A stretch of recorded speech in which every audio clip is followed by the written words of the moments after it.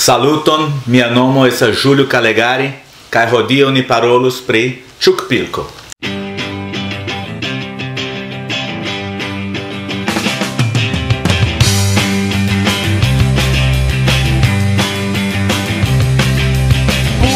Fala aí galera, beleza? Estou aqui com o Júlio Caligari, ele é da FTB, que é a Federação Internacional de Chukball, e ele tem uma história muito interessante sobre o Chukball aqui no país. Foi você o responsável por montar o Esperanto Chukball e trazer o Chukball aqui pro Brasil, certo? Mais ou menos. O Brasil chegou de mim umas duas outras formas, mas eu estava nos primeiros grupos divulgando a modalidade, né? Isso já foi em 93, Nossa, que foi quando o Océlio, quem me ensinou a jogar, ele, ele morou na Suíça, jogou por eh, equipes de Genebra. Quando ele começou a divulgar aqui no Brasil, em janeiro de 93, foi quando eu conheci o esporte. Daí então, isso já fazem 25 anos que eu jogo chukball. ô louco. Antes disso, tiveram também algumas apresentações por meio da FIEP, congressos de educação física e foram alguns outros grupos que começaram. Mas começou a fortalecer foi depois, principalmente nessa época, 90, e, eh, eh, 93, 94, até chegar finalmente em 2000, quando o Brasil teve a primeira participação internacional num campeonato da FTB. Vamos falar sobre o. Primeiramente, o Esperanto. Vocês não entenderam logo na, na abertura? Ele estava falando sobre o, é, o Chukball em Esperanto. Em Esperanto. Gostaria que você falasse então, primeiramente, sobre o Esperanto Chukball. O Esperanto Chukball foi a equipe que eu dei início aqui em São Paulo. Começamos com uma- algumas é, com um trabalho voluntário que nós fazíamos em- na, na Zona Sul, ali no, no Jardim Fim de Semana. A partir de apresentações em escolas da região, montamos a nossa primeira equipe, que foi a primeira equipe de São Paulo, que é o Esperanto. Isso foi em 98 e esse ano estamos comemorando 20 anos do, do Esperanto Chukball Clube. Será que a gente poderia cantar uns- um parabéns em Esperanto? Pro Esperanto? Os 20 anos, né? É. Mi gratulas o amico fidela, vivo multe soltero, con la sorto plil bella. Posso tentar? Pô, aí você vai se complicar. Vivo, vivo, vivo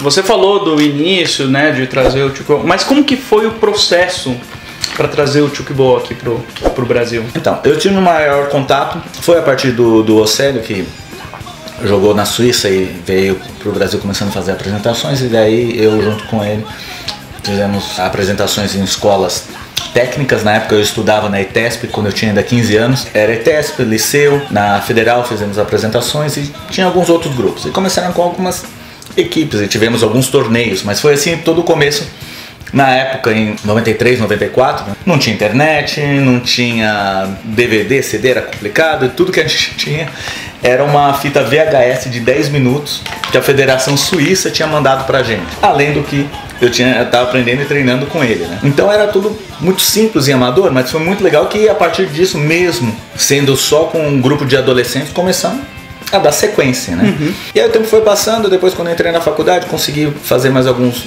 apresentações, contatos e a equipe cresceu um, um pouquinho, mas o suficiente para criar a primeira ata que a gente teve da Associação Brasileira de Chukball, da BTB. Foi criada nessa época, mas até então sem estar registrada oficialmente. Certo. Isso foi em 99. E em 2000, a Federação Internacional de Chukball organizou um campeonato mundial, acho que foi a terceira edição finalmente do, do Campeonato Mundial de Chukball. Na época eram só seis países que participaram. Isso foi na Suíça. E nós participamos com a equipe brasileira. E naquela época, pô, toda a dificuldade de conseguir patrocínio, nossa equipe tinha entre 15 e 21 anos, todos. Não tinha nem um, um técnico, alguém a mais, mas não, era só essa- esse grupo de jovens indo e representando o país como a primeira equipe, né? E foi muito legal, lógico. Perdemos praticamente todos os jogos. Ganhamos só um último contra a França, mas já foi uma festa assim ótima pra gente, né? E a partir daí que começou a crescer no Brasil de ter mais equipes, participar de outros eventos. Em 2002 participamos novamente com uma outra equipe brasileira, mas nesse meio tempo começou a ter mais intercâmbio com o pessoal do sul, do Paraná. e outras equipes foram surgindo de São Paulo. E o Esperanto foi sempre continuando com seus altos e baixos, mas o Esperanto está nativa desde 98 até agora, que já são os nossos 20 anos. Nossa, né? 98 eu tinha 11 anos. Vamos lá. E a gente já estava começando com a não sei o que. Vários desses jogadores do Esperanto dessa época seguem até hoje. Eu já estou há, há 12 anos fora do Brasil, mas continuo ajudando, coordenando para a equipe continuar. E com vários desses jogadores que eram desde aquela época de, de 98 e que participaram dos primeiros campeonatos brasileiros, participaram dessas duas primeiras aparições da seleção brasileira em Mundial. Né? Então isso é legal ver essa turma que a gente tem amizade e segue junto no esporte há tanto tempo. Que legal, hein? Você foi um dos caras que começou a história aqui, né? De seleção, de equipes e tudo mais. Hoje você tá vendo os frutos, né? Exato, exato. É legal colher os frutos, É, né? é muito bom ver que, que algo que a gente ajudou a começar, né, com, com a ajuda de outras pessoas, foi seguindo e até hoje, né, tá, tá aí, né. Eu mesmo, estando fora, de vez em quando, quando venho pro Brasil, tem algum campeonato, eu procuro fazer o possível para poder participar, né. Você falou que é, você é de fora e tudo mais, mas onde você mora hoje? Então, já há 12 anos eu estou morando em Dubai, nos Emirados Árabes. Eu trabalho com aviação, eu trabalho com aviação também há 20 anos. Então, nesse meu contato com a Federação Internacional e pelo fato de eu falar alguns idiomas, ter contatos internacionais e trabalhar na aviação, foi quando a Federação Internacional de Chukball me convidou para ser promotora internacional. Tenho facilidade muito grande de viajar para outros países com uma um preço muito baixo de passagem por causa do meu trabalho. E nessa eu já estive em mais de 30 países fazendo apresentações, dando curso. Atualmente o Chukball é jogado em 60 países, desses são 44 eh, federações afiliadas à FTB. Desses 60, pelo menos 20, 25 fui eu que Coloquei a primeira, coloquei a primeira sementinha lá, né? Então é muito legal ver algum desses países que começaram de uma apresentação, de um curso que eu fiz, que depois eles evoluíram, cresceram o esporte lá. Um caso que assim eu sou super é, é, orgulhoso de falar é, é Singapura. Eu fiz a primeira atividade lá em 2002 e depois eles tiveram outros cursos, tiveram um apoio fantástico de Taiwan e hoje eles são a segunda, terceira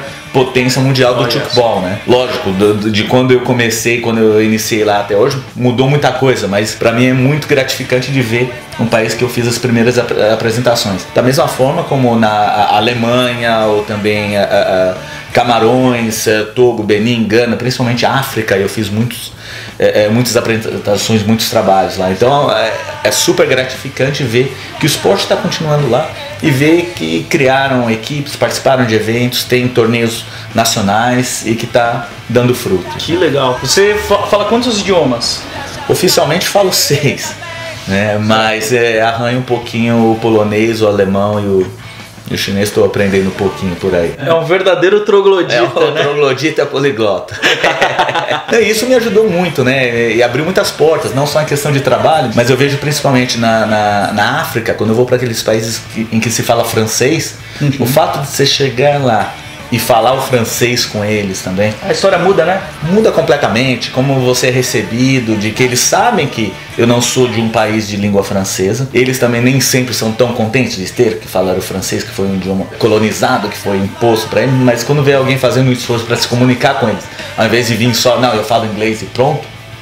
Né? Sim. E também por meio do Esperanto, por eu falar Esperanto, foi o que abriu portas em pelo menos três ou quatro países Uau. que começaram o chukball foi por meio de Do contatos do Esperanto, que é o caso do, do Togo, também no Senegal e em Gana, eram contatos que eu tinha por falar Esperanto, aí conversei com eles, comentei do chukball e disse, "Pô, é uma proposta muito legal de esporte, a gente pode começar aqui. Eu falei, "Pô, beleza, então juntou duas paixões minhas, né, que é o Esperanto e o chukball, e ajudou eles a, a dar Que início. legal. Você falou que tinha lá em torno de 60, 60 países, País, né? atualmente, sim. E como que você enxerga o desenvolvimento do futebol no mundo?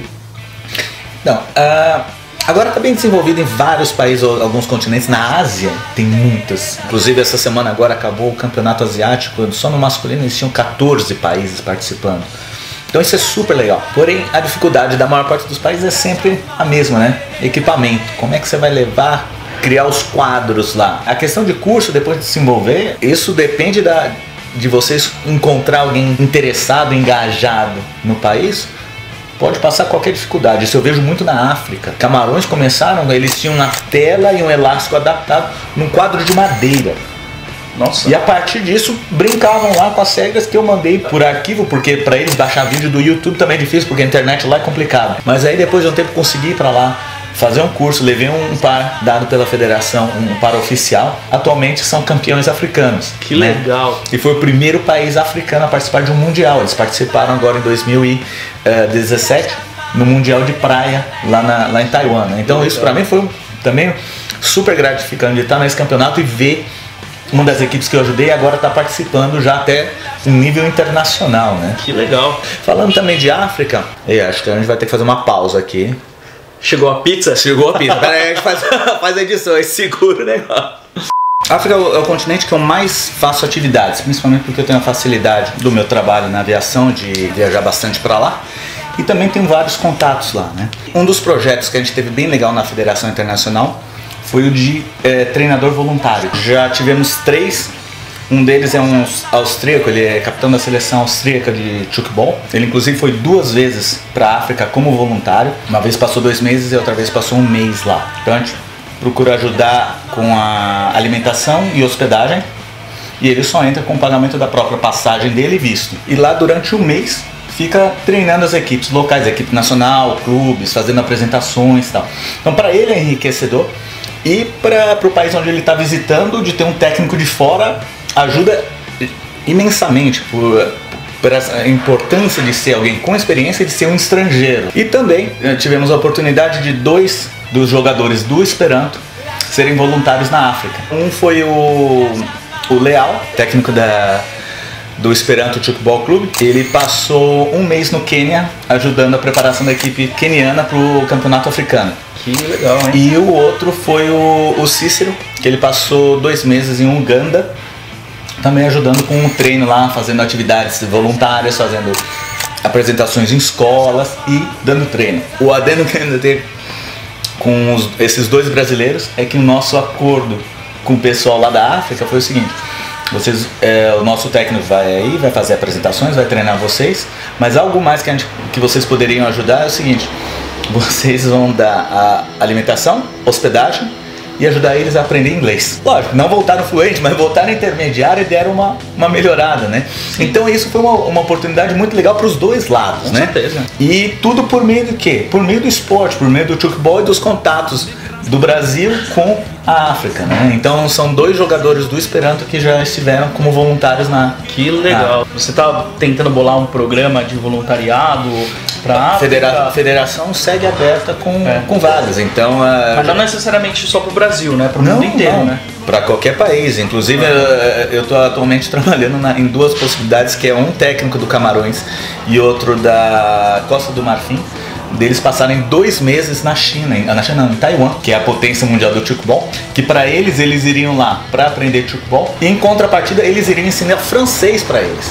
Olha só, Então, é, é assim, cada um colaborando com o que tem a Aham. oferecer, de uma forma que reduza os custos, mas que você, como voluntário, você possa oferecer o que você tem de experiência, de conhecimento, e você vai adquirir conhecimento Uhum. lá também. Então, não é não só alguém para a África para ensinar, mas também um africano para ir aprender lá e ensinar o que ele tem. Sim. Isso é muito legal essas possibilidades. aí. tudo começaram, a todas começaram a partir de contatos e ideias que a gente teve na, Uhum. na federação, né? Fosse tipo um intercâmbio entre os países Exato. através do chukball, Exato. né? né? Ter um- uma relação de ganha-ganha. né? Exato. Então a, a- ideia agora assim, também estamos abertos. Se tiver algum outro técnico ou mesmo jogador aqui do Brasil interessado que quiser me contactar, estou pronto a poder ajudar e de repente alguém mais. Ó, vou deixar Pra o ir e-mail pra- aqui do. Deixar o e-mail aqui do Júlio aqui. Por favor. De repente, para alguém mais de algum clube daqui do Brasil é, que estiver interessado, Uhum. fazer esse tipo de intercâmbio e ir lá para a África também. Sim, né? que legal. E você entende que o, o é uma ferramenta de crescimento para não só para os praticantes, mas aqueles que são fãs, né? Você entende que é, um, é uma ferramenta muito poderosa de não só de educação, mas também de inclusão social e tudo mais. É. Eu, eu vejo muito isso nesses países onde eu faço atividade, né? O chukball aqui no Brasil você tem desde atividades que a gente faz na- na- no Rio de Janeiro, na Rocinha, em algumas associações aqui em São Paulo, e até clubes e escolas particulares de elite. Então é aberto para todas Todo as mundo. todo mundo, né? E aí ainda tem muito a importância do futebol enquanto uma ferramenta educacional. A questão do, do, do respeito em quadra, a questão de não ter contato físico, a questão de você misturar eh, pessoas de diferentes eh, faixas etárias e estaturas de eh, sexos diferentes podendo jogar junto e sem ter o problema do contato físico, sem ter a questão da exclusão. Lógico, você vai ter num futuro, conforme vai crescendo ó, os jogadores mais fortes, mais a- a- a- atléticos ou com mais a coordenação, que vão formar as equipes mais fortes dentro de um campeonato. Mas por outro lado, você tem aqui uma abertura muito maior para todo mundo participar Com certeza. né? Com certeza. E isso é muito legal ver também, por exemplo, nos campeonatos africanos, a questão cultural, né? De como isso mexe com eles. De, Aham. pô, agora não tem o contato físico, a gente tem um- uma forma de respeito diferente com os outros atletas e também com a, a- a questão de arbitragem. Você acha que latino é expressivo? É... Lá na África também é uma coisa assim, a flor da pele, mas eu acho muito legal eles verem como dentro do futebol a questão do respeito, a questão de o que a gente chama do self-referring, né? De quando você faz um erro no, na- no jogo, o qual o árbitro não viu. E você acusa fala assim, não, de fato ah, acertou na minha perna, de fato seria um ponto para outra equipe, não para minha. Então você começar a mudar toda essa perspectiva de que você geralmente tem nos outros esportes de que de tentar ganhar vantagem e aqui de ser o fair play não como uma concessão, mas como algo natural e correto do esporte da Da essência do esporte e do próprio ser humano, né? Exato, exato. De como você pode ter isso dentro do esporte de uma forma natural. Não é que eu estou sendo bonzinho, eu estou sendo honesto porque sou obrigado pela regra. Eu não estou tocando ou fazendo contato físico porque a regra. Não, é porque é, vira algo natural, É. né? E como isso influencia também em questão educacional, eu acho fantástico. Também acho. Não deveria ser assim uma coisa é, notícia, né? Tipo, É. ah, o fulano de tal foi honesto porque ele não fez falta. Ou fez uma ação. Não, porque de fato isso é, é- é- é uma- é um comportamento natural Aham. dele e da equipe dele. Sim, e né? o chukeball é um esporte que propicia esse tipo de coisa, né? Exato, né? Isso eu acho muito legal você ver dentro de quadro, você vê equipes fazendo isso, você vê a outra equipe reconhecendo quando alguém tem esse tipo de atitude dentro de quadro. Então isso é, isso é muito legal. E a questão educacional também vai no futebol na questão ah, motora. Porque gestos e outras eh, coordenações que você desenvolve como jogador de futebol, principalmente nas categorias de base, são importantes, são úteis para jogar outros esportes. A criança começou com futebol, tem que ser com futebol. Não, justamente por ele pegar no futebol a possibilidade de, de aprender bem coordenação de recepção de bola, de passo, de três passes e tudo mais. Isso vai ajudar ele quando ele for jogar o basquete, o vôlei, o, O handball, todos os outros esportes. Que esporte ele vai seguir, ou se ele vai jogar vários esportes, vai ser um multiatleta, né? aí é a escolha pessoal de cada um. Mas você tem um, um- um esporte que já te dá uma boa iniciação esportiva e de coordenação motora, também é Excelente. né? Você entende que o chukeball faz, tem essa função. Exato. Perfeito. O que, que você acha sobre o cenário atual do chukeball, o quanto que ele pode evoluir e o quanto que ele pode se tornar um esporte que seja uma competição oficial dos Jogos Olímpicos? Como que você enxergaria isso? Não, eu tenho o meu lado por estar dentro da Federação Internacional e ser membro de o quanto a federação está trabalhando para divulgar o esporte, para ser reconhecido internacionalmente. Mas a questão de ser olímpico, eu não sei até onde isso é o mais importante. Lógico, seria fantástico. É, eu penso muito por uma questão de divulgação. Lógico, você está nos Jogos Olímpicos, você, eu entendo que é uma plataforma de divulgação do esporte. Fantástico, seria reconhecimento, é, é, abriria muito mais portas para ter investimento, para ter patrocínio, para o esporte crescer em cada país. Porém, até chegar lá tem vários outros passos. O primeiro passo é fazer parte da Sport Accord, que é o que organiza o World Games, que são os jogos para os esportes não olímpicos. Nós precisamos ter 40 federações, o que já temos, já estamos com 44. Precisa ter eventos internacionais, já Aqui temos. já tem? É internacional, continental e regional. Temos. E aos poucos estamos vendo essa possibilidade da FTB fazer parte oficialmente da Sport Accord. Ainda não faz, mas já participou de alguns eventos desse porta-cor, inclusive em 2009 no World Games de Taiwan. Tem duas coisas, uma coisa se chama importância. E outra Sim. coisa é a necessidade. A importância eu sempre vou reconhecer, a importância de virar olímpico seria fantástico. Agora, a necessidade, nesse momento eu não vejo como algo que seja o mais necessário. O importante para mim agora é o quê? Ver que esse esporte pode ser jogado em vários lugares. Ah, mas tem em tal país é super desenvolvido em escolas. Tudo bem, só que aí quando o garoto acaba o colegial, ele não tem onde jogar, porque não tem clube, não tem clubes sociais, não tem lugares públicos. Dependendo em outro país, eles têm só alguns grupinhos pequenos, são fortes e internacionalmente são super desenvolvidos, mas não tem opções de quem quer vir jogar se não jogar nesses grupinhos. Para mim, acho que agora o mais importante é o que? Ter mais lugares e possibilidades de quem do chukball ser acessível para quem quer jogar e ser reconhecido o valor educacional e utilizado o valor educacional. Para o chukball ser utilizado mais constantemente oficial em escolas, universidades, em clubes, em grupos e associações não governamentais. E aí tem uma abrangência gigantesca de vários grupos que podem ajudar. É o caso de associações de bairro, é o caso de escoteiros. Por meio do escoteiro, eh, o chukball cresceu muito em Taiwan e na Suíça. Nossa, curioso isso. Né? E são dois países grandes do chukball. E agora a gente estava usando esses contatos para tentar em países novos. É só dando um exemplo de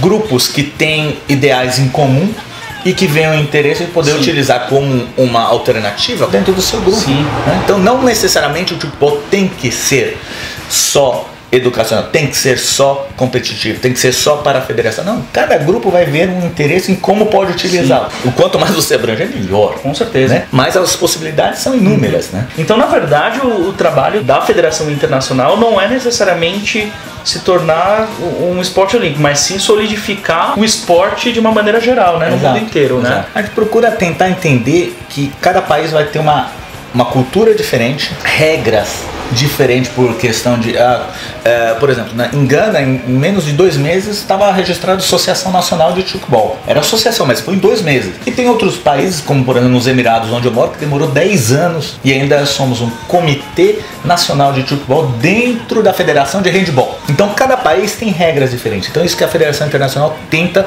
entender e ver como que pode ajudar cada um. Em alguns é necessário que vá fazer três, quatro cursos para ter mais técnicos, ter mais gente oficializada, porque isso é importante para eles. Outros países a gente faz uma apresentação, um curso básico de técnica e a partir daí eles deslancham, começam a produzir localmente bola. Tem países como Indonésia e Paquistão que eles têm bolas de chukball que eles criaram lá. Legal. Não são homologadas pela Federação Internacional, mas pela associação deles são e tem lá um logo, nacio- na bola nacional de chukball do Paquistão. Aham. E até mesmo para incentivar a prática, né? E para eles terem acesso Exato. e poderem. eh, Agora eles fazem a apresentação num outro lugar, pô, eles vão ter como falar para esse lugar continuar fazer a atividade porque vai ter o material. Logicamente, fazer a tela, os quadros, parece tão simples aqui, ah, é só um trampolinzinho.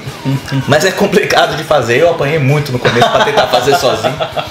Mas é, é legal ver que vários países começaram a desenvolver e têm as suas produções locais. Alguns homologados e reconhecidos pela Federação Internacional, outros não, mas com uma qualidade suficientemente boa para desenvolver no país e para inclusive ter eventos internacionais utilizando esse material. É isso que a, que a federação se preocupa de como a gente pode viabilizar o desenvolvimento sustentável de cada país. Lógico, tem países que às vezes contactam a gente e falam assim: ah, mas é, a gente precisaria de uma subvenção da federação, que a federação pagasse para a gente participar de curso, pagasse para a gente participar de evento. A FTB, apesar de já termos 40 e tantos afiliados, é uma federação considerada pequena. Temos um orçamento mínimo, mas que procura utilizar para distribuir principalmente nessa promoção internacional. Sim. E tem que lembrar, eh, federação nenhuma paga a participação internacional de outras equipes. Você acha que as federações internacionais estão pagando para um país participar de um campeonato internacional? É sempre a organização local. A gente entende que vai ter países que é realmente é mais complicado conseguir apoio do governo e,